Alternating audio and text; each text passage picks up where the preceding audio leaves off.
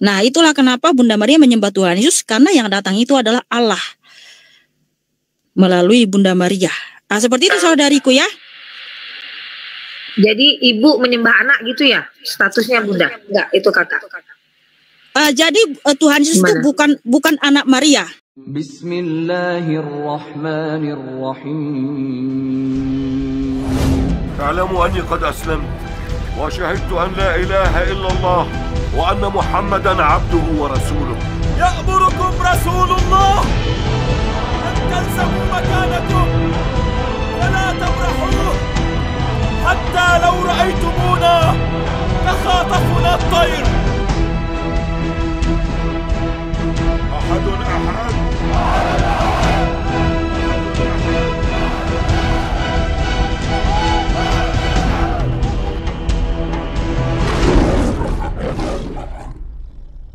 Assalamualaikum warahmatullahi wabarakatuh teman-teman semuanya. Jumpa lagi dengan Bam Tri Channel Dan kali ini kita akan membahas si mie kacau.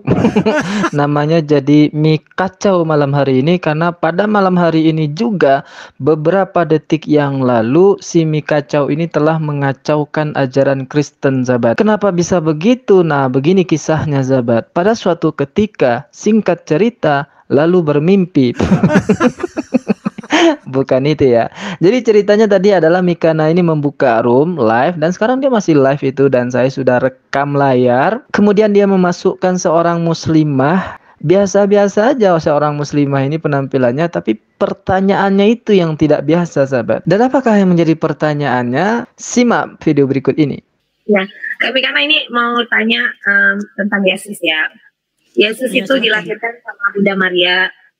Yang ingin saya tanyakan, apakah Bunda Maria itu sebagai ibunya menyembah Yesus sebagai Tuhan?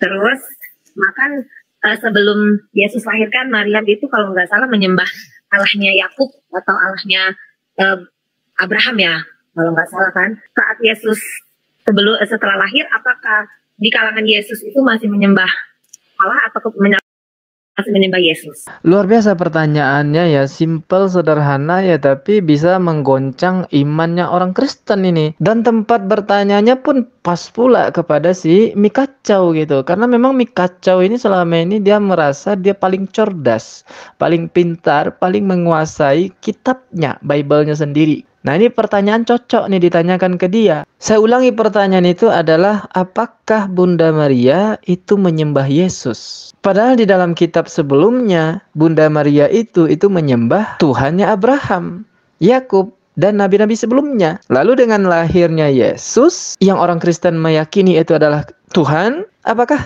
ibunya sendiri kemudian menyembah Yesus sebagai Tuhan? Keren pertanyaannya sahabat. Tapi jawabannya Nah, simak yang kacau berikut ini. Apakah Bunda Maria menyembah Tuhan Yesus? Ya, betul sekali. Ah, setan ini. Apakah Bunda Maria menyembah Tuhan Yesus? Ya, betul sekali. Eh, setan. Mohon dimit dulu ya. Kampret.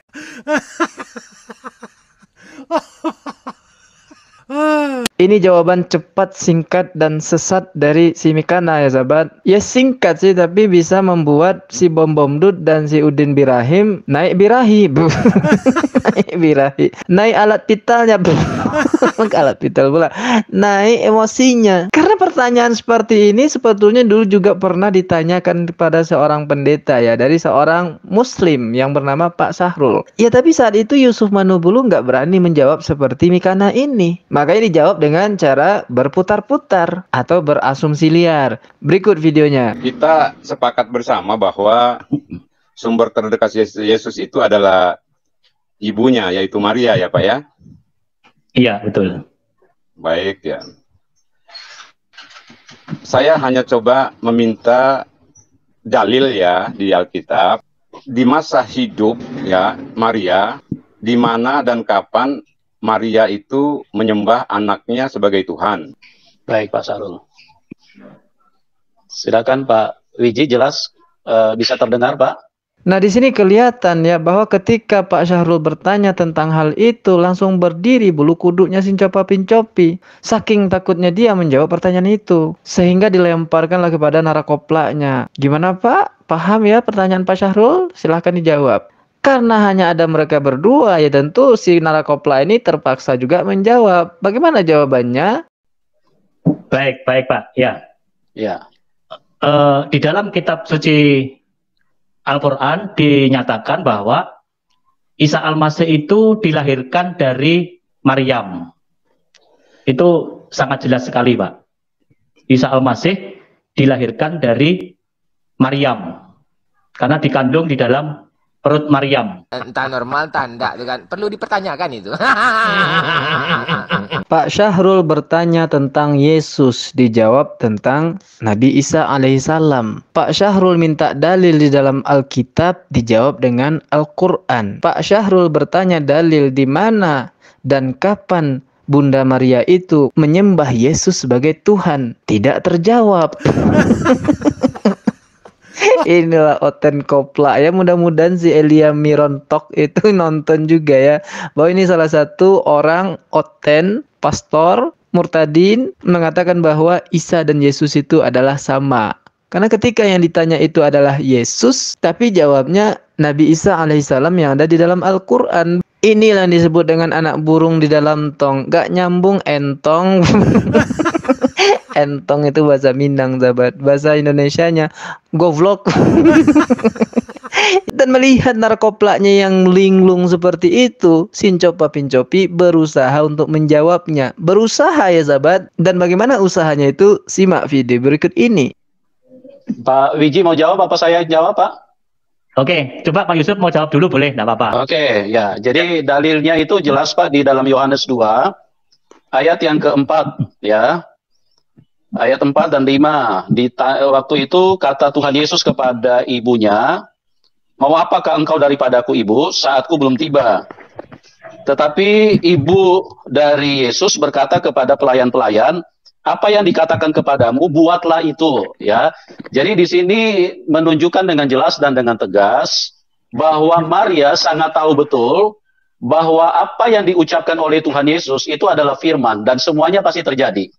Ya, jadi dalilnya di situ menunjukkan bahwa Maria sangat meyakini bahwa yang dia lahirkan lewat rahimnya itu adalah roh Tuhan, itu adalah Allah sendiri yang menjadi manusia. Itu sebabnya dia memberi penekanan kepada semua murid-murid pada waktu itu, apa saja yang dikatakan oleh Yesus, kalian harus dengar, kalian harus lakukan itu. Karena itulah yang benar, itulah yang menentukan bahwa dialah Tuhan, dialah yang berkuasa, dia yang dialah yang menentukan apa yang harus dikerjakan dan apa yang harus tidak dikerjakan. Jawabannya tidak menjawab pertanyaan karena itu asumsi. Kalimat Maria, ya engkau Iya Tuhan, kan begitu sebaiknya kalau emang Yesus memberikan statement seperti itu. Bukan asumsi ya Pak. Ini dalil yeah, yang yeah. sempurna gitu loh. Jadi nah, coba sebutkan uh, suratnya ada ayatnya. Coba. Itu Bapak bisa baca sendiri karena kita ini waktu terbatas. Kampret.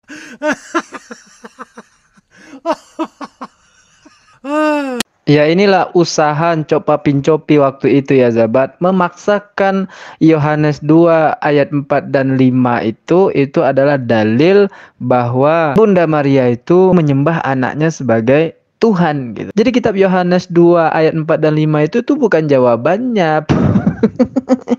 itu hanya ayat yang kemudian diasumsikan itulah jawabannya ya. Makanya dikatakan itu asumsi. Tapi karena panik dia katakan ini bukan asumsi, ini dalil yang jelas. Kemudian Pak Sarulnya dikeluarkan dari room itu. Itu sudah lama sekali, sahabat. Dan video ini sudah viral. Sekarang ada lagi cucunya Copa Pincopi, yaitu si Mikacau. mendapatkan pertanyaan yang sama dengan opungnya. Dan ketika dia menjawab, langsung saja mengatakan, iya Maria itu menyembah Yesus. Dan bahkan yang lebih parahnya si Mikacau ini mengatakan Yesus itu bukan anaknya Maria. Ah, berikut sahabat. Nah, itulah kenapa Bunda Maria menyembah Tuhan Yesus karena yang datang itu adalah Allah melalui Bunda Maria. Nah, seperti itu saudariku ya. Jadi ibu menyembah anak gitu ya statusnya bunda? Enggak, itu kakak. Uh, jadi uh, Tuhan Yesus itu bukan bukan anak Maria. Kampret.